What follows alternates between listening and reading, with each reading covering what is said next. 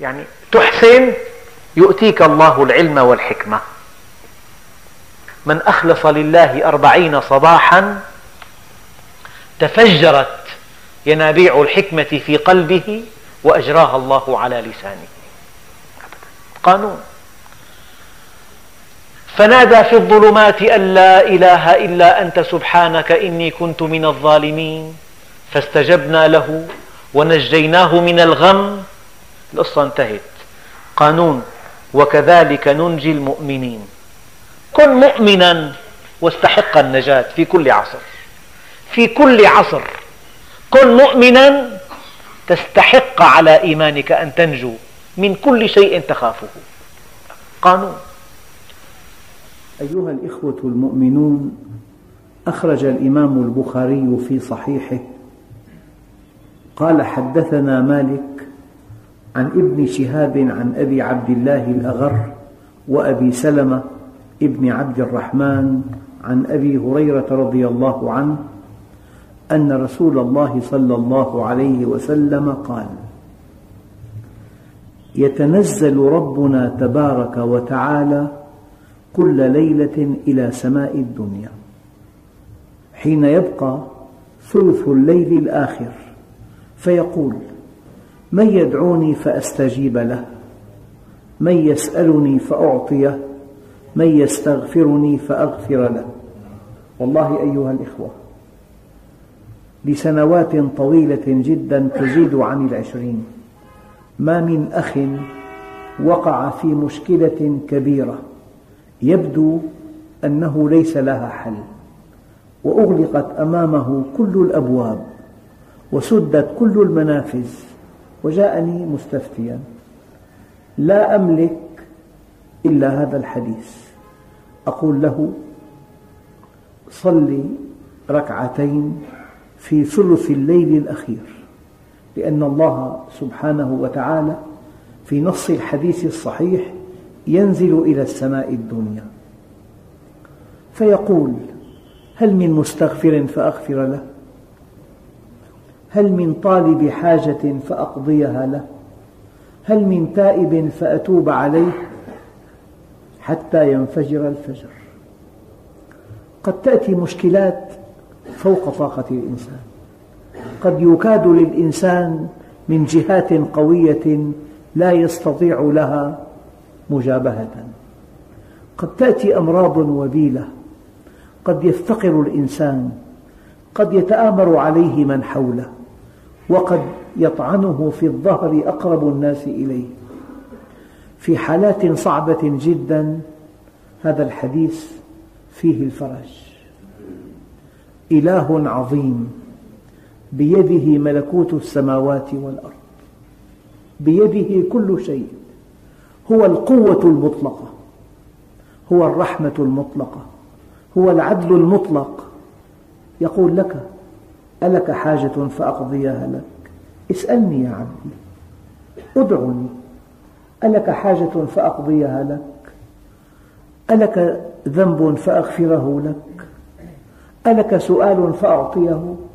ماذا ينتظر الإنسان؟ والله الذي لا إله إلا هو. سمعت من بعض الإخوة قصصا لا تصدق.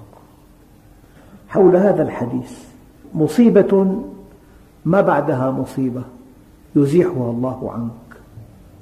لذلك إن أردت أن تلخص العبادة كلها يمكن أن تلخص بالدعاء.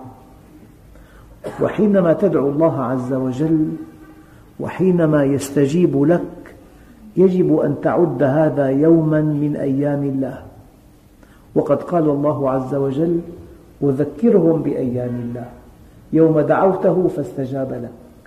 يوم سألته فأعطاك يوم استغفرته فغفر لك يوم اعتززت به فأعزك.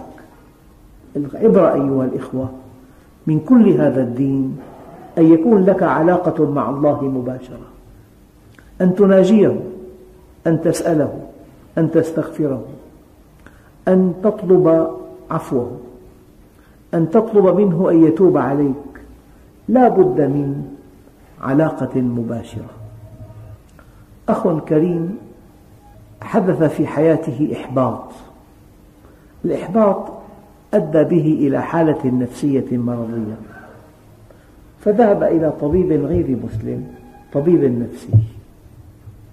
قال له الطبيب بعد أن حدثه عن قصته كلها قال له الطبيب النفسي غير المسلم قال له مشكلتك أنك تشعر أن الله ليس راضيا عنك. لا بد من أن تكثر مناجاته. كان عليه الصلاة والسلام إذا حزبه أمر بادر إلى الصلاة. يعني المشكلات كبيرة جدا. الطالب في مدرسته التاجر في تجارته الصانع في مصنعه الموظف في مكتبه الطبيب في عيادته. أحيانا تأتي مشكلات تسحق الإنسان. من لك إلا الله؟ بل لعل الله سبحانه وتعالى من حكمته أنه يسوقك إلى بابه. يبتليك بمشكلات لهدف واحد أن يسمع صوتك وأن تساق إلى بابه وأن تذوق طعم القرب منه. الإنسان ألف الحياة الدنيا ألف الطعام والشراب والزوجة والأولاد والنزهات والسهرات والولائم. لكن لو أنه ذاق طعم القرب من الله لا اكتفى به. ورد في بعض الآثار القدسية أنه من أحبنا أحببناه ومن طلب منا أعطيناه ومن اكتفى بنا عما لنا كنا له وما لنا. ورمضان كله من أجل أن تتمثل قوله تعالى وإذا سألك عبادي عني فإني قريب. من أجل أن تقطع أملك من الخلق وأن تعقد الأمل على الحق. من أجل أن تنصرف عن الخلق وأن تتجه إلى الله عز وجل. لأن كل شيء بيده. لأنه إليه يرجع الأمر كله. فهذا الحديث أولا في الصحاح في البخاري وصحيح الإمام البخاري أصح كتاب بعد القرآن الكريم. يقول عليه الصلاة والسلام إذ يتنزل ربنا تبارك وتعالى كل ليلة إلى سماء الدنيا حين يبقى ثلث الليل الأخير فيقول من يدعوني فأستجيب له؟ من يسألني فأعطيه من يستغفرني فأغفر له. في رواية ثانية في صحيح مسلم يقول الله عز وجل أنا الملك أنا الملك. من ذا الذي يدعوني فأستجيب له؟ من ذا الذي يسألني فأعطيه؟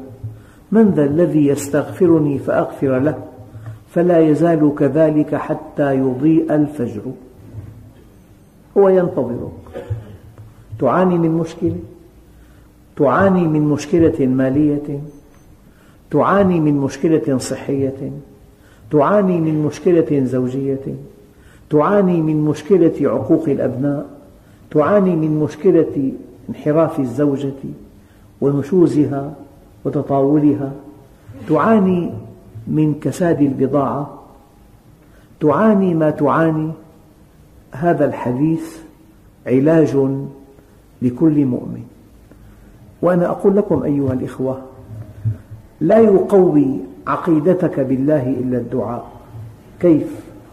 أنت حينما تدعوه ويستجيب لك تعلم أنه سمعك وأنه قدير وأنه رحيم وأنه مجيب.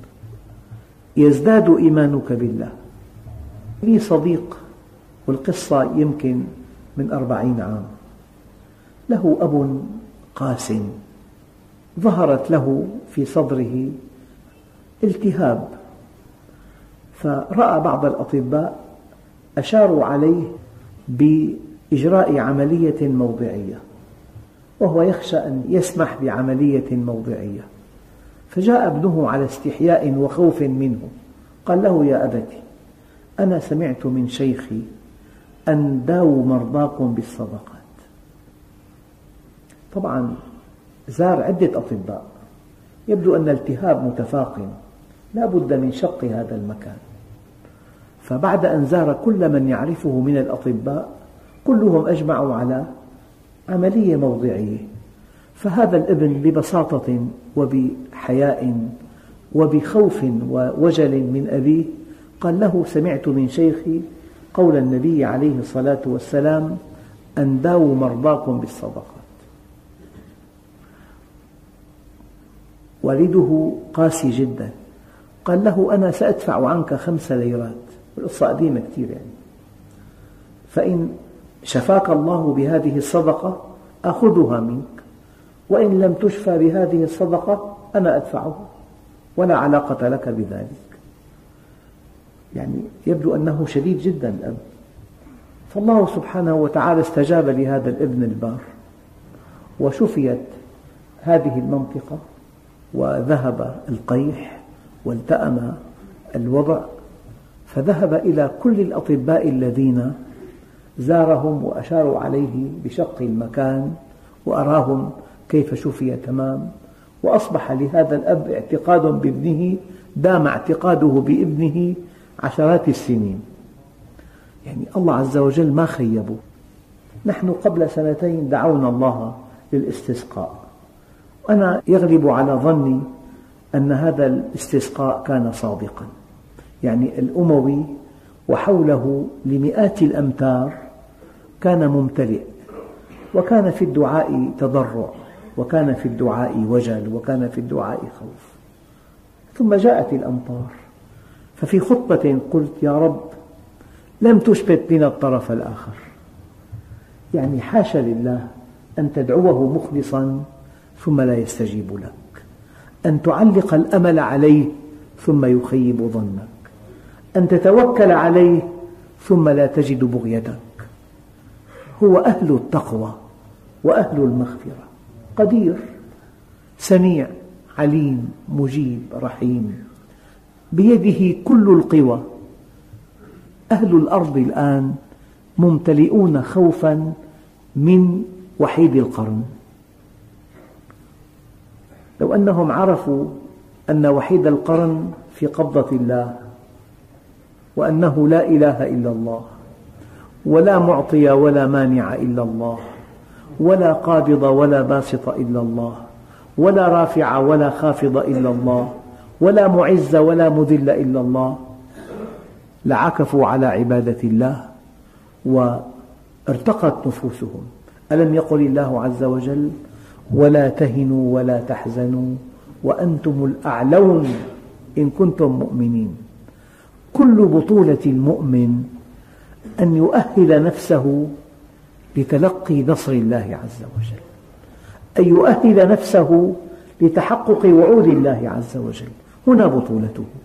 أما أن يقع في المخالفات وفي التقصيرات وفي التجاوزات وفي أكل المال الحرام وفي غش المسلمين مثل هذا الإنسان لا يستطيع أن يدعو الله أبدا. في حجاب كثيف بينه وبين الله. إذا الصيغة التي جاء بها مسلم أنا الملك من ذا الذي يدعوني فأستجيب له؟ من ذا الذي يسألني فأعطيه من ذا الذي يستغفرني فأغفر له. فلا يزال كذلك حتى يضيء الفجر. في رواية سادسة لهذا الحديث روايات عديدة. الرواية السادسة إن الله يمهل حتى إذا ذهب ثلث الليل الأول نزل إلى السماء الدنيا. فيقول هل من مستغفر؟ هل من تائب؟ هل من داع حتى ينفجر الفجر؟ أيها الإخوة الكرام حينما توحد الله وحينما ترى الله وحده فعال في الأرض كلمة فعال لما يريد. أنت من؟ أنت لست فعالا لما تريد. لعلك تريد أشياء لا تعد ولا تحصى ولست قادرا على أن تفعل منها شيئا. لكن الله فعال لما يريد. ليس المجال مجال قصص لكن هناك قصص واقعية. والله لا تصدق. أنا لي صديق أصيب بمرض خبيث في رئتيه. فزرته مرة في البيت. قال هناك احتمال أن تجرى عملية في بلاد بعيدة جدا وأن هذه العملية تكلف ثمن بيته الذي يسكنه. زرع رئة واحتمال نجاحها ثلاثون بالمئة. أنا أظنه صالحا ولا أزكي على الله أحدا. العينات التي التي أخذت من رئتيه فحصت وحللت في بلادنا وفي بلاد الغرب. فكانت ورما خبيثا من الدرجة الخامسة أعرف أطباء أثق بهم ثقة كبيرة. قالوا لا أمل من شفائه إلا بعملية زرع رئة ونجاحها ثلاثون بالمئة وفي بلاد بعيدة وتكلف ثمن بيته. يبدو أنه دعا الله عز وجل بإخلاص شديد. والآن هو حي يرزق ولا يشكو شيئا والقصة أظن من عشرين سنة تقريبا. فحينما تدعو الله يعني الذي يبدو مستحيلا في قدرة الله عز وجل أي يأس وأي شعور بالخوف يتبدد حينما تثق بالله. يعني وسعت رحمتي كل شيء. في مدرسة في باريس أصلها مغربية. أصيبت بورم خبيث. فقال لها الطبيب يبدو أنه بلغ درجة كبيرة جدا من الانتشار. فقال لها الطبيب معك أسبوعان فقط وبعدها تموتين.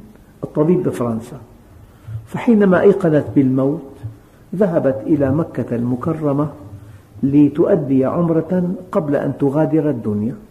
يبدو أنها في أثناء الطواف وقد قالت في كتيب ألفته أنها طافت ثمانية عشر شوطا من شدة تعلقها بالله وخوفها أن تموت على غير الإيمان. وتضلعت من ماء زمزم وعادت إلى بلدها لتموت لكن الله شفاها. وألفت كتيبا صغيرا قصة مؤثرة جدا. يعني قصص الأمل صفر. كيف أن أصحاب موسى قالوا إنا لمدركون؟ فرعون بكل قوته وجبروته وطغيانه وحقده وراء شرذمة قليلة والبحر أمامه. ومع ذلك أنجاهم الله عز وجل. كيف سيدنا يونس؟ الأمل صفر في بطن الحوت في ظلمات ثلاث فنادى في الظلمات أن لا إله إلا أنت سبحانك.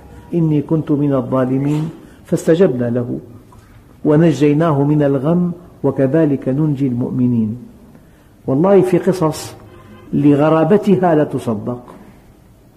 يعني إنسان في طريقه إلى منطقة جميلة في وسط القطر ترك المركبة وذهب إلى مطعم فابنه لعب بأدوات القيادة فانطلقت المركبة في الوادي والوادي سحيق جدا.